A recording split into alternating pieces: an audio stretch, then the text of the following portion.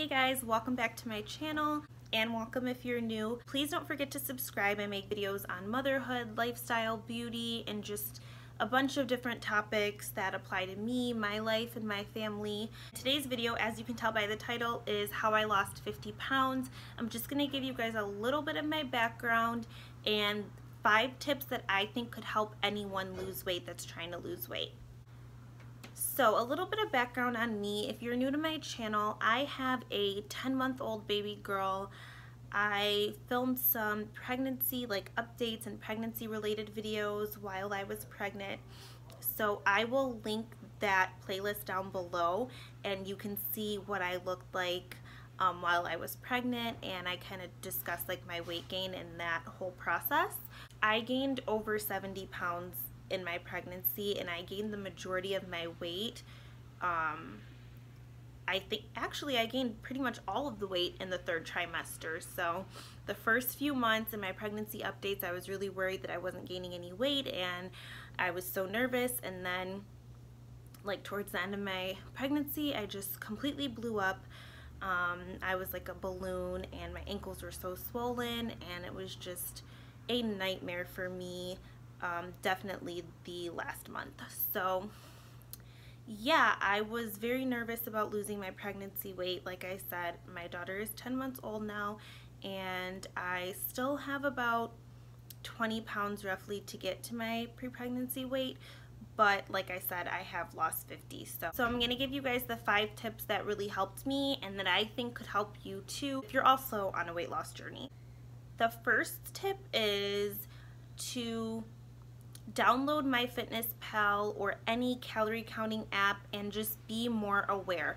I don't believe in being obsessive over calories because I know a lot of people can start to struggle with that when they're just like so like crazy about calories but I do think in the beginning to really realize what you're putting in your body and how many calories certain things are it's so important to utilize these kind of apps um, when you first start trying to lose weight and you start typing things in that you thought were healthy and they're like three, four, five hundred calories, you're just like, oh, like it just hits you and it's kind of like a wake up call. So I think the first step is to like be aware of how many calories you should be eating and um, just kind of like writing down everything that you're eating and looking at it because sometimes you just eat without thinking and you're like, oh, I didn't even eat that much or I've been eating really healthy. And when you write it down or you see it in front of you, you're just like, oh, okay, like this is why I'm gaining weight or this is why I'm not losing weight. So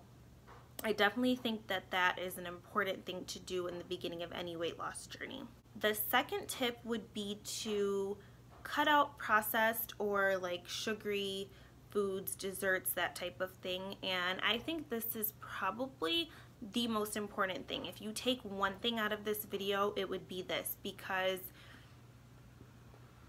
things that are processed, um, thing like sweets and all of that, they have so many calories. They're so bad for our body and they slow down our metabolism. So if you were to just cut out the processed foods and focus on whole foods, and if you cut out just like that piece of cake that you're having or this sweet that you're having every day, you're gonna lose weight just from that alone. So if you really, really um, feel like everything on this list is too much, at least try to cut out the processed foods and like the sweets and the snacks and stuff like that. Um, that's probably the hardest thing to do, but like I said, it's going to be the most beneficial. And trust me, I have a sweet tooth. I would pick a piece of cake over like an actual dinner any day, but it's just something that you have to do. The third tip is don't drink your calories. Um, this is another thing that I personally was very guilty of and still sometimes am. I am a sucker for a Starbucks drink, a um, Tim Hortons ice cap, like an iced latte, like all of that kind of stuff. But they have so many calories, like four or 500 calories, and then you add like your extra caramel or, you know, whatever you add to it. And even iced coffees, like they can be up there in calories as well. So you have to be really mindful of what you're drinking tropical smoothie, jamba juice, like all of these smoothies, they are pre like made and pre-mixed. They're not healthy homemade smoothies. If you want a smoothie, make one at home. Um, what other drinks I'm trying to think of?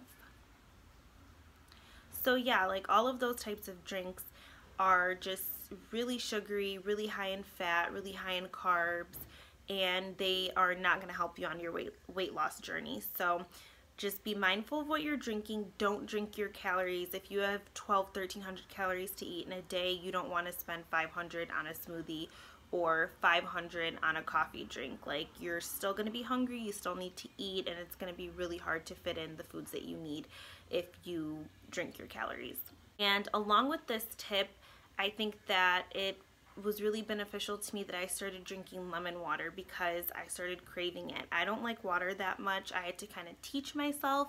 So if you don't like water as well, um, just try to add lemon to your water or um, do like the detox water with like you cut up the strawberries or the cucumbers or the mint or whatever it is and you just let it sit in the fridge overnight and you drink it like that so it's kind of like flavored water whatever you have to do to um, make water more tolerable for you.